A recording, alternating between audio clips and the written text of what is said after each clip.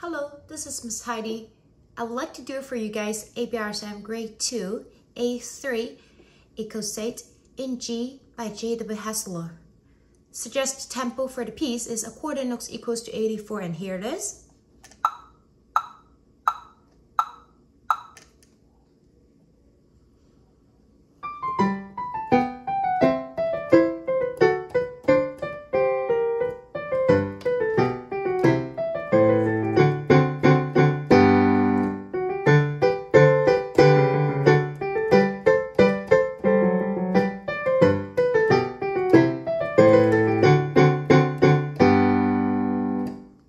Thank you.